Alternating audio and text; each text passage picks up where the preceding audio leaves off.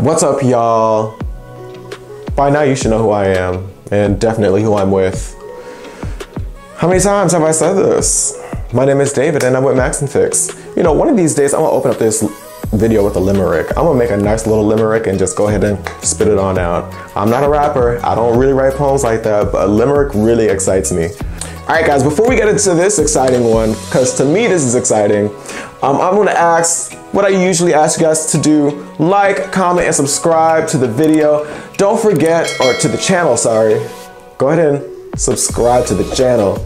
Uh, and go ahead and hit the notification bell so you know what comes out next. Today, we're gonna talk about something exciting, like I said. We're talking about the alleviation of the chip shortages if this can follow through to the price to the pricing of cars, now we'd be in business because Lord Father God. Without further ado, I was serious about the alleviation of the, the, the, the car market because it needs to do something. Well, there seems to be a light at the end of the tunnel. Uh, Apple has multiple sources of materials that make the products that we know and love in their arsenal. And two, in comparison, have different outlooks on the current state of the shortages Apple has been up against to make our products a reality.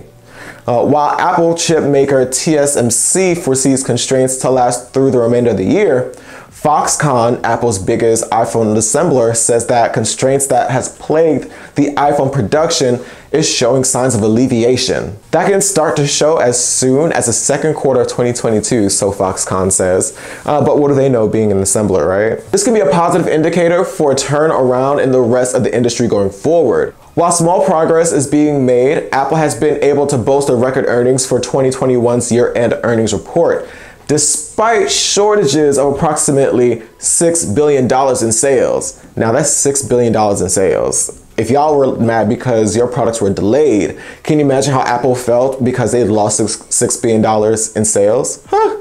Though Apple hopes to continue to handle it with ease and more slight relief in March than, you know, compared to, you know, December. A long-term alleviation is expected and project continued revenue growth. I mean, if they've been dealing with delays and pushbacks for, for the pandemic and still been able to make record-breaking numbers, I mean, from here, I mean, I don't see them really going south. More recent headlines have been made that gives insight to Foxconn diversifying their business due to the chip shortages. While supply constraints seem to be alleviating slowly, semiconductors are still a sore topic for many tech companies. Currently, TSMC is Apple's chip supplier. They may be their sole chip supplier, uh, so Foxconn's expansion could be beneficial for them as a company uh, and the additional relief Apple might need. Foxconn will be joining forces with Oyster Metals Group, Vedanta to produce chips where Foxconn will hold about 40% of the shares and hopes this boosts India's domestic manufacturing of electronics. This could very well be what Foxconn was hinting towards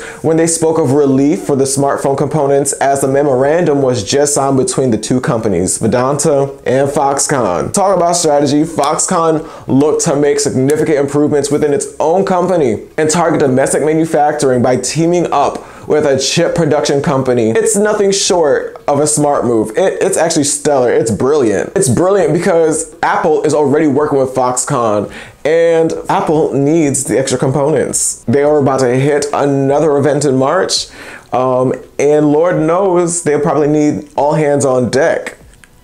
Though Vedanta will hold majority of these sales, this could be a win for everyone involved, including consumers to normalize purchasing habits and work past supply delays and restrictions. The tech industry is in such dire straits because of the lack of engineers and has moved compensation for these positions from handsome to gorgeous. And while the issue technically still exists, this was surely an innovative move to put Foxconn on a forward-thinking map. With March right around the corner, we can't wait to see how fast we get to see how these mashups and collaborations play a role in the coming months. Now, I mean, the news can say that this is about Apple. It's Apple's name is in it, but I think this is huge for Foxconn because I just think that the move was so smart to expand their company by teaming up with a tech company that makes chips uh, and to already be working with Apple, they literally played the middleman to get this done. I mean, that to me, that's mind blowing. I mean, I'm, I'm sure like stuff like this happens all the time, but I think it was actually really exciting to read. It was really exciting to find out about this move, uh, and it was brilliant. I mean, you have someone who's already a supplier for the chips that work with Apple and saying, oh, we don't know we still might be going through a shortage. And then you got you got Foxconn saying, I don't know, buddy. I think I can help you out. Let me talk to my friend over here and let me see what we can get done. I'll get back to you. And that's exactly what they did. They said that it was going to be alleviated, and then they came out and said, "Oh, we're teaming up with this company that makes chips so that we can get things going for you." Brilliant. I can't even argue with it. Y'all, if y'all found this exciting as it excited me, y'all drop a comment down below. And don't forget to subscribe to the channel and hit the notification bell when you're through so you know when the next video drops. All right, my name is David. I'm with Max and Fix. And until next time, it's peace be with you. I am out of here.